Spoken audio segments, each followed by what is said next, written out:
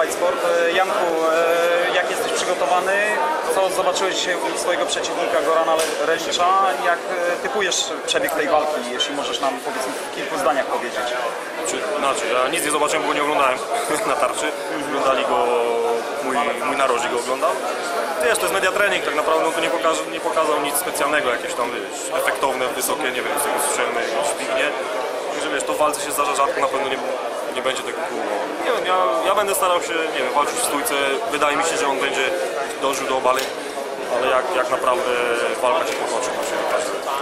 E, Te jego pojedynki wcześniejsze z Krzysztofem Soszyńskim szczególnie tak, e, te, które toczył w UFC są Ci znane. Miałeś, e, miałeś przegląd. Co możesz powiedzieć o nim, Ty jako zawodnik o zawodniku? Jest bardzo, bardzo solidnym zawodnikiem, wszechstronny. I stójka, zapasy, jakże i parter. To jest po- podobny zawodnik do mnie z tym, że odwrotnej pozycji.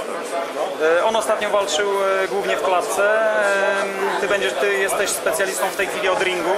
E, To będzie miało jakieś znaczenie przy tym pojedynku? Wiesz co, nie wiem, wiesz walczył w klatce, ale pewnie trenował w ringu, tak, tą walkę, także, także zobaczymy. No. Być może tak, być może nie. Zależy wszystko od niego, jak, on- jak on odrobił lekcję. E, Janku, znane ci, znane ci są te bałkańskie szlaki, znasz trochę zawodników e, z tamtego rejonu. E, Co możesz powiedzieć o, o takiej chorwackiej szkole, szkole, jeśli chodzi o MMA, bo jest też z Reliczem, był jego sparring, sparring partner i jego i Mirko Krokopa, tak? Igor Pokrajacz. Silni zawodnicy, wiesz, twarda szkoła takiego solidnego MMA. Co ja mogę powiedzieć? Mówię, no MMA już na świecie się wyrównało, także wszędzie jest mniej więcej podobnie, tak? Tak naprawdę małe szczegóły mają znaczenie, kto wygrywa te walki. Mam nadzieję, że tych szczegółów będę miał więcej po swojej stronie. E, Czy ma dla Ciebie znaczenie to, że praktycznie można powiedzieć e, trzech zawodników na stuletnim walczy? Dziś e, walczy w sobotę w Warszawie u siebie na swoim. To jest, to jest w zasadzie precedens, tak można powiedzieć, tak? Nie no, bardzo fajnie, wiesz, bo szykowaliśmy jakby z Piotrkiem razem, wiesz, na ten sam dzień, on miał ciężki dzień, ja go wspierałem, ja miałem ciężki dzień, to on mnie wspierał, także to mi pomagało.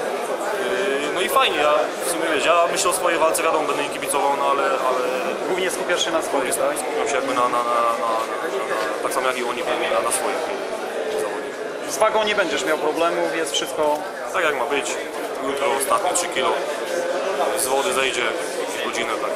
Z regeneracją tak samo nie będzie. Czuję się bardzo dobrze.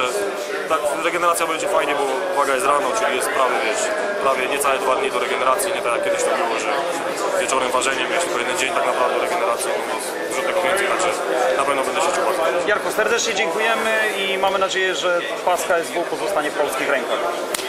Fus.